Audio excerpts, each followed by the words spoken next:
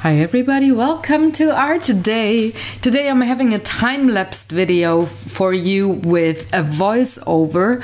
One reason being that this project uh, took me almost six hours to complete. And also uh, I had the kids around when I was filming. You will see Emma's hand later.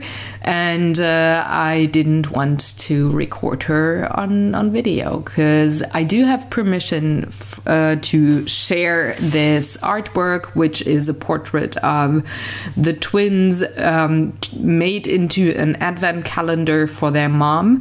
However, we want to make sure that. Um, they are not on the web with their personality and everything. So, here we go. I did uh, take two photos uh, that Jan had provided me with and uh, sketched them out on watercolor paper.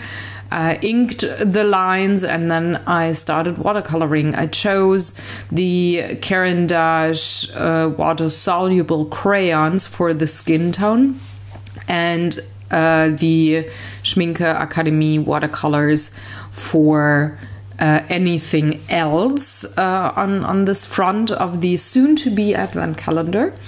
And the reason was I don't really have a nice skin tone with the watercolors. And I uh, just like that muted flesh tone of the crayons very much. So I could have mixed my own um, skin tone, sure. Uh, but I kind of felt like, okay, I want to go for pure colors and only mix them on the paper. And uh, therefore, I took the easy way out and uh, used my crayons. Now, I did introduce a little bit of magenta and um, purple onto the skin. It might look a little weird at this point, um, but this is not supposed to be a realistic kind of a painting, just a very colorful one. And choosing different, maybe a little more unusual colors for shading on skin is something that I really like to do to just um, make a painting or portrait look quite vivid. I also used the Caran d'Ache. Uh, crayons for a very pale Sahara yellow. Um, the the twins are very blonde. Emma even more so than Hannes. She's like almost white blonde. She has very very little darker hair, like a solid blonde. She's almost a white blonde, very cute. So I again didn't have a shade in my watercolors that would be um, working. I did put a little bit of cadmium yellow on top just for the shading bits here and also a little bit of uh, I think it's called Naples yellow. I don't actually remember the name, just for the shading. But on the lighter parts, I kept the pale yellow crayon. Um, and I wouldn't have been able to uh, make her hair that light with just my watercolors. So for the table that she's grabbing, uh, I chose a little bit of Van Dyke Brown and a little bit of sepia and a little bit of uh, dark indigo. And she in the photo she's wearing a white shirt. So I'm giving her a little bit of a light gray uh, shadow part. I toned it down quite a bit. I darkened things because I want to have a little bit of contrast. Um, and I don't want to have it look like empty space in the end because I'm also painting the background and Hannes on the left has no white um, bits there on his clothes. So I wanted to bring the two together and therefore I darkened up her shirt quite a bit. Now they have really like husky steel blue eyes. I darkened them a little bit, um, went with Prussian blue and indigo just to make them pop a little more. That's a little more of an artistic license, I'd say. So um, I just adjusted the color a little bit to be a, kind of a bit darker because the background is going to be a night sky and I wanted to bring those two items together. Well, for her tongue that she can touch her nose with, she's the only one who can do that. Um, I chose a mixture of different kinds of reds, some cooler ones, some warmer ones, a little bit of purple for the shadows and um, then I did let that part dry, went back to the skin, adjusted my lights and darks, and uh, just pretty much brought everything together there. Uh, I think the photo we chose for her to be the reference um, is really cute. It it shows her pe- personality, so um, that was awesome, and I giggled quite a bit while I was painting her. See there, I'm dropping in uh, a bit of the indigo, drying things up. I know that watercolor dries lighter, so I didn't worry when I put down the indigo. I knew that it would just be very light in the end, and the pupil would be quite uh, visible with my ink lines. Added some more shadows around her hands, just uh, upping the contrast a bit. Excuse me and um, it, then I just uh, went back to the eyes, another uh, layer of blue. Uh, shading the white of the eyes with a tiny little bit of gray, the same I used for the shirt. It's actually a Payne's gray, so it has a bluish tint, which um, again works really well with the eye color and the soon to be painted in background. Another layer of shading for the tongue and uh, the lips, just dabbing in some color there. And uh, yeah, getting getting closer to make it look real and have a nice amount of contrast uh, there. I'm going to adjust her left side of the face later on. Uh, bringing in a little more yellow. The blue did work really well, or the purple tone, I should say, but in comparison to uh, skin, it looked a little too weird. So I'm going to adjust that later. Um, currently, I'm just adding in more color, shading her uh, a little more. But I'm gonna dial that back later on in the video, you will see. So I'm just smoothing out the skin, going over it, not having it look too blotchy. And, and I do that by just having a damp brush and just going over the layers that I already painted. And uh, that I think works really well. A little bit of indigo and a little bit of Prussian blue for the eyelids, just to make her eyes pop. And uh, then I did let it dry for a second, went uh, to the loo, and I forgot to cut that footage. Oh no!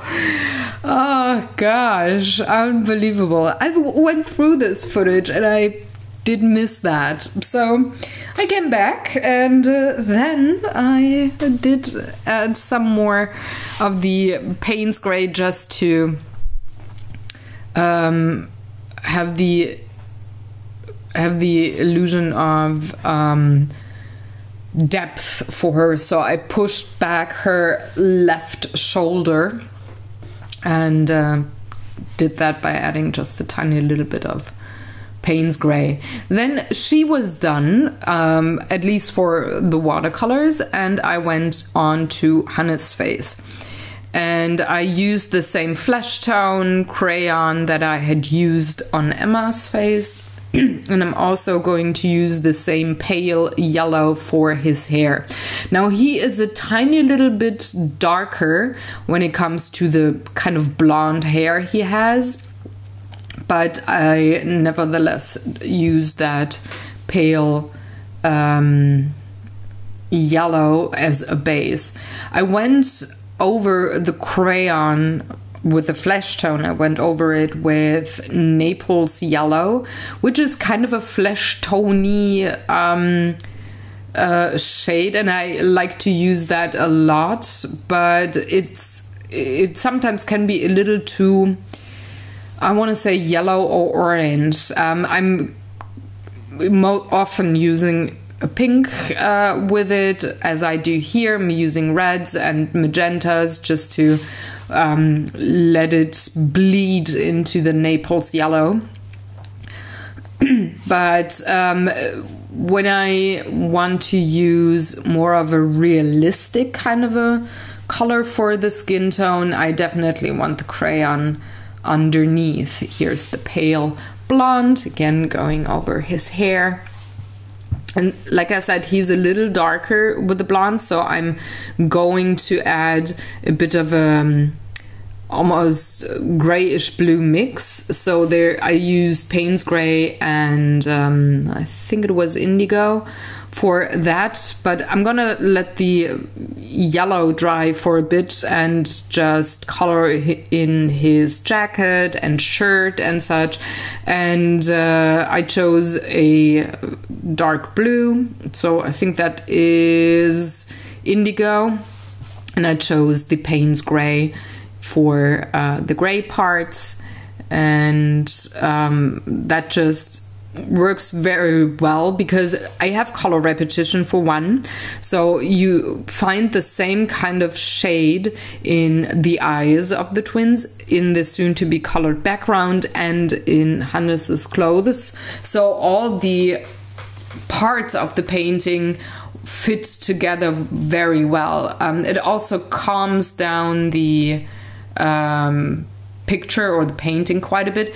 Um, Emma's tongue is pretty much the focal point when it comes to the color choices. All the other colors are um, repeated somewhere. I mean, I'm going to use the same reds for Hannes's um, lips and tongue, but they're way more pronounced with Emma, so this is kind of the focal point when it comes to the color.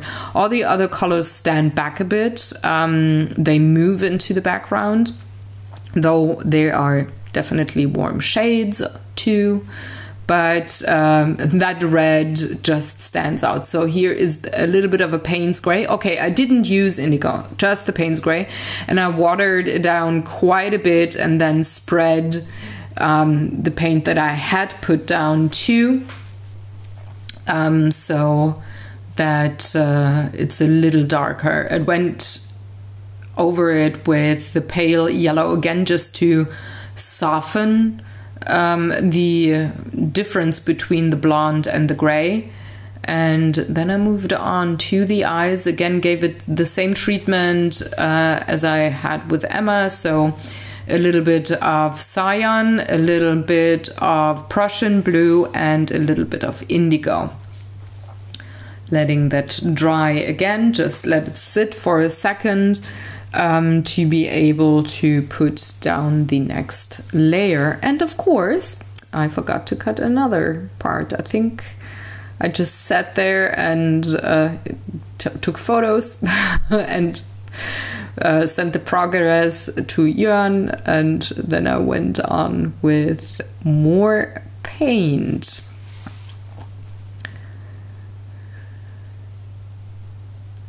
So, onto the mouth. Again, the same reds I used for Emma's uh, mouth, and I added a little more purple to his tongue just to darken up uh, the inner parts of the mouth. Because, like that, uh, like it is now, it looks really weird. um, and there's quite a bit of a shadow in his mouth there, so I darkened that with a little more purple and indigo than I had used on Emma, but then again, she doesn't have her mouth open, or it is just filled with all the tongue there. So there we go, toning that down quite a bit, adding a shadow, and uh, that way adding depth to the painting or the the perception of depth and yeah you know all the things.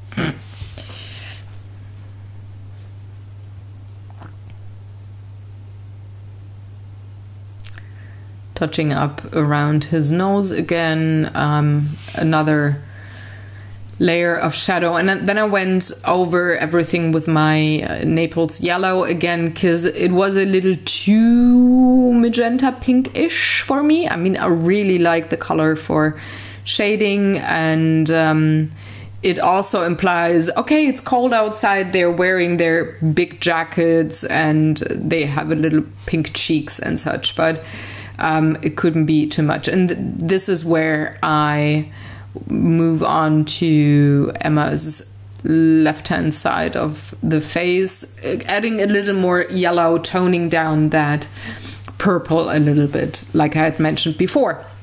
And then I went on for the background.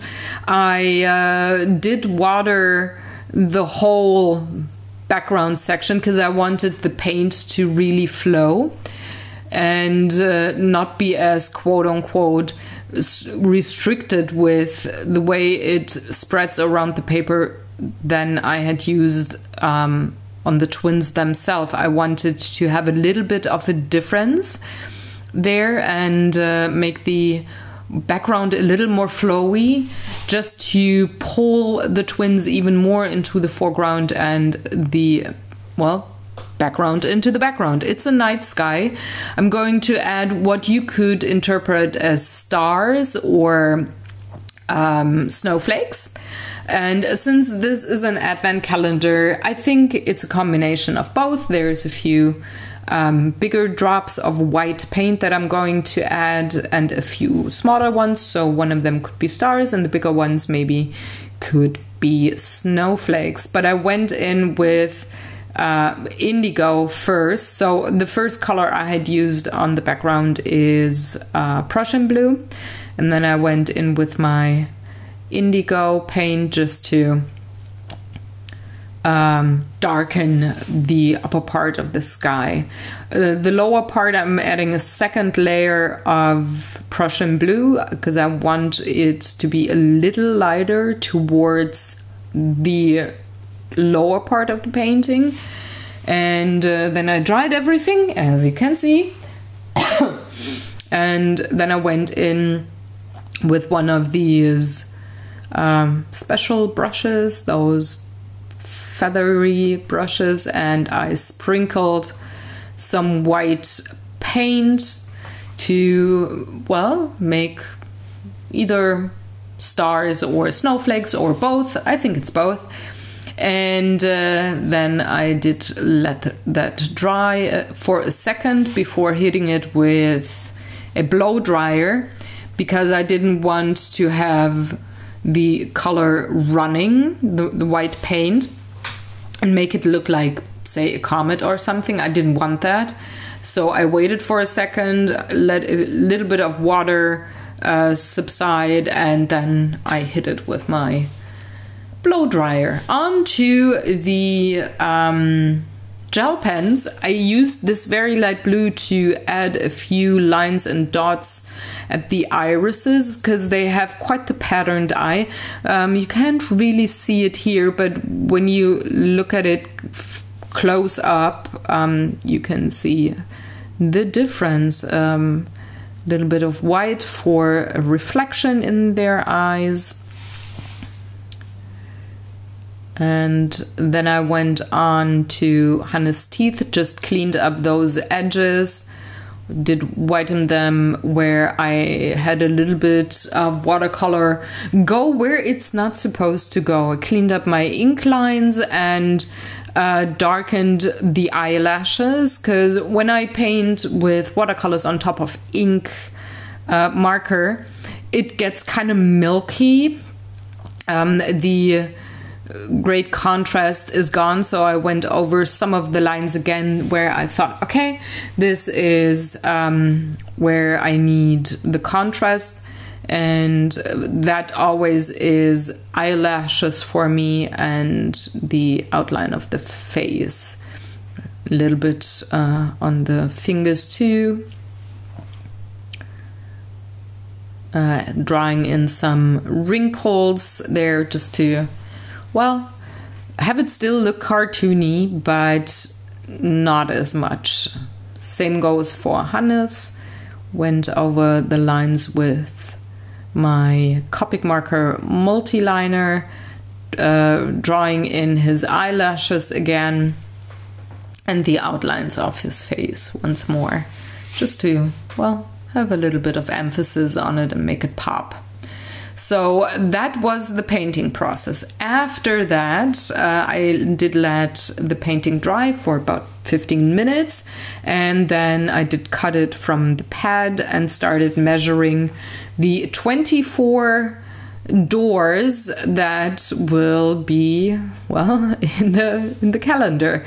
Uh, I did leave, I think it was two centimeters of a border all around because that, that is where I had planned to glue down um, the edges of the painting. So I didn't want to have the doors be too close to the borders. Um, and I thought, well, two centimeters is a is a great thing. Also, it did work really well with the measurements um, because that left me with so the whole thing is 30 by 40 and uh, with the two centimeters on each side, it is 36 by 26 centimeters that um, I could use, and divided by four rows and six columns, I had five by five centimeter doors. So I did uh, draw them in um, and uh, then started also cutting them. So it takes a while. This took actually the longest, I think. Um, drawing and cutting all of the doors uh, I think it took maybe like 10 minutes longer than actually painting the front. But um, you just got to take your time. And I didn't stress myself, I didn't hurry. Uh, I had podcasts um, with me listening to them while I did paint and put in the lines and cut those lines. And I think it's important, uh, particularly in that step here, to just take your time. Um, I then, excuse me, whew, I, I, made sure that I really had 24 um, doors because the, the advent calendar that Jörn and I made for ourselves has bags and we miscounted and it's 23 instead of 24 which i just realized i think last week when i did sort all of the bags and put that put them in boxes for us to pull out and not look where is bag number 11 in this whole pile of bags um, and then I realized, ooh, um, we just have 23. But that's fine. Uh, Jörn and I are going to have the Lego Dart Star Destroyer. Um, in our advent calendar, we're gonna build that, and I think it's fine that we're uh, building the Star Destroyer until the 23rd, and on the 24th, we're going to place it um, on the shelf. So I guess that's okay but yeah, uh, knowing that I had miscounted the bags for our own advent calendar, I counted again and again and again just to make sure. Okay, this is really 24 um, little openings there that I can cut, and um, yeah, it so happens I counted correctly. So once I had that done, I did take an X-Acto knife and my metal ruler and did cut all of these doors. Um, here's the thing I would have had no problem doing so would I not be disabled and have fatigued hands. So you will uh, see Jörn jump in and help me out with the cutting. And of course, also chatting with my friend group while I do so. And uh, I had to make sure to cut very slowly and be very precise uh, for me not to destroy the picture in front. So I did go over every line two to three times. And the corners where those cut lines met were the most difficult uh, points. Um, where I sometimes had to go over it maybe four or five times and then checking every so often um, that the pictures, uh, the picture in the front didn't rip. Uh, I did take another blade. Um, the other one wasn't that great from for the angle that I used or had to have, um, and I did just take another blade that I have. So um, that worked really well. And uh, it was a little more comfortable for my hand to not get tired too much. Also, I didn't open the doors all the way and have that bend in the watercolor paper because um, I didn't want the doors to be glued uh, shut later on. I just wanted them to be um, pretty much closing on themselves. Um, and this is where I mark the lines where Jörn has to cut. and that's there's he. He is helping because my hands got really tired and we just switched back and forth who is cutting the lines. Uh, he's unaware or he forgot that there's a camera rolling, so we'll, you will see the back of his head a lot and maybe not as much of what he is doing. But I guess you can still see the movement with his hand, and once in a while he uh, has his uh, head at an angle where you can see what he's doing with his hand. But yeah, we just went forward there. So again, I had said I didn't bend the doors all the way open because I didn't want to have those creases yet. And I also didn't want to use any uh, glue or anything to close those doors and make all the pictures that the twins colors colored uh, invisible. I had the plan to use a little bit of washi tape on the front with um, the numbers written on them just to for one hold the doors shut so nobody can peek.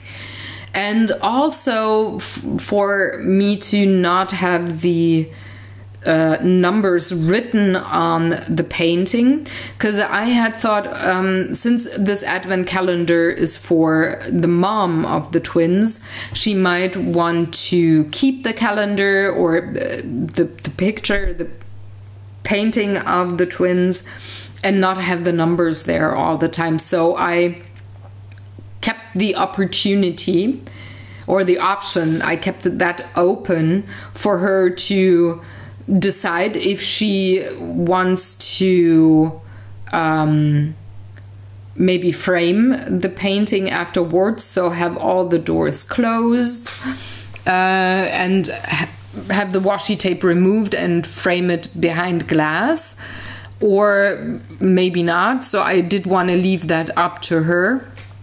And that is why I was that particular with the way I uh, for one, cut the doors, um, and also, well, prepared them to be opened and make it look like a flat painting actually. So you will see that in a little bit when all the doors are cut. And uh, see like here it's the doors are hardly visible if you pop them in like back all the way you can hardly see that there is an advent calendar happening. It just looks like a portrait painting. And i wanted to make sure and keep it that way so that she can decide if she wants to well keep the picture have it framed or whatever and that is also a reason why I chose watercolors on watercolor paper and not have um, an advent calendar with sweets in them, but with colored pictures from the twins so that she could maybe frame it and not have to have it put back into a box um, at the end of Christmas season or throw it away. So she can, but it's her decision and she has the option of um, well having it framed and yep just as a picture of the, her kids. So uh, i took another break. Uh, Jörn took over again uh, helping me cut all the doors. And uh, it really was a strain on my hand. And on his as well because having to apply quite a bit of pressure. I mean, that uh, um, watercolor paper is thick. It's very sturdy. It has a lot of fiber. It doesn't really buckle a lot when you put quite a bit of water on it. So we really had to cut through a lot of layers of fiber there and it just is very strain, straining um, onto our hands and wrists, and it is very difficult for us to coordinate after a while. So I was very glad that he could take over whenever my hands were not, well, that good anymore and I couldn't control them as well anymore. You're almost done.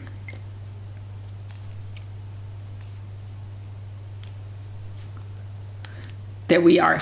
So once I had everything cut, I did take a very light gray washi tape um, uh, roll and just cut tiny little pieces of and uh, glued the doors shut that way. Now, washi tape is uh, removable without um, any residual glue or anything. I really like it for this uh, kind of thing, that purpose. And uh, I just went all over the doors and I tried to use locations or placements that did not take away from the portrait look of the advent calendar. So I didn't, for example, place the washi tape just over somebody's eyes or the tongue. I did kind of try to work around the main features of uh, both of the kids' faces.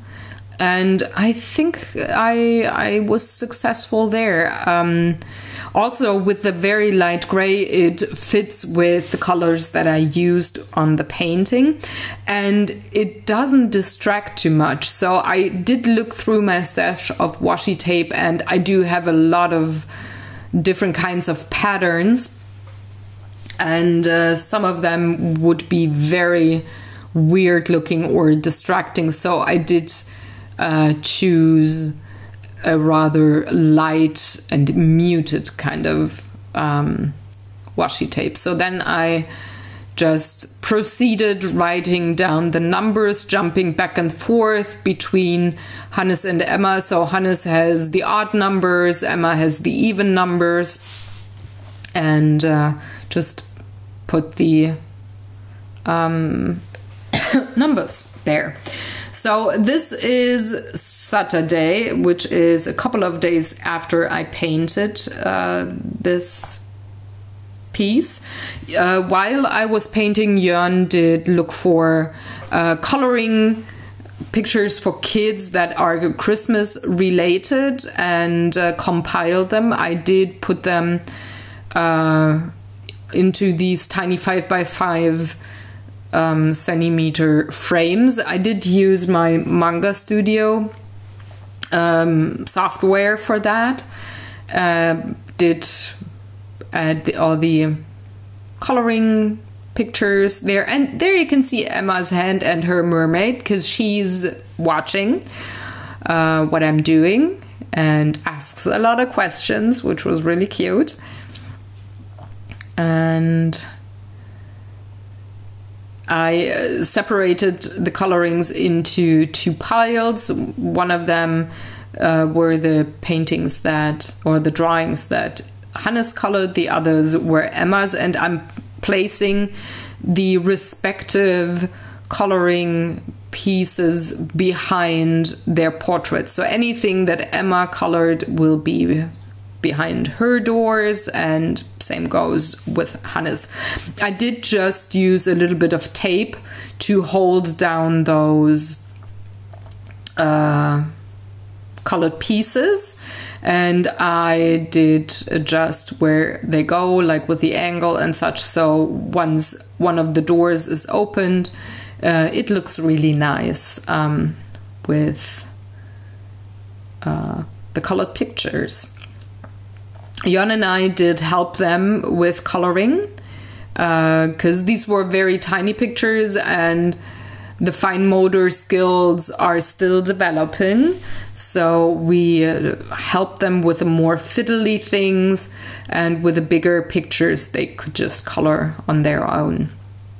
Once I had all the pictures down, I used a little bit of crafting glue. It's a white glue. Um, that works really well with this particular kind of paper. So I just went all around uh, the frame. I did take a second uh, watercolor paper for the back.